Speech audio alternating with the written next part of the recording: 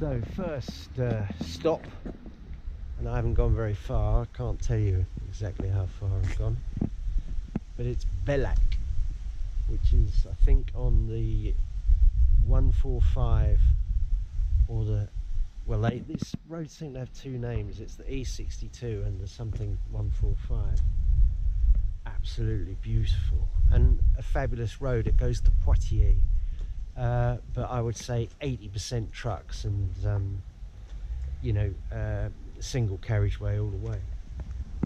Uh, I've stopped. It's always a good idea, in my opinion, to have a um, an, an early stop after you leave, after you pack, because you can see what's going. You can check what you've done and what I've done, despite not, as, despite wanting and planning to do the opposite is pack that too far over here so my overtaking mirror I'm not actually being able to see very much and that's probably in my stupidity and my tiredness that I was thinking I was in England and it was this side but look at this look at this it's a lot cooler than yesterday and uh, we're expecting rain in an hour or so. There's the Office of Tourism. I'm in the right place. I'm going to get a map and get genned up about camping and about everything. So I'm sure there's a lot of other things I wanted to say, but I won't.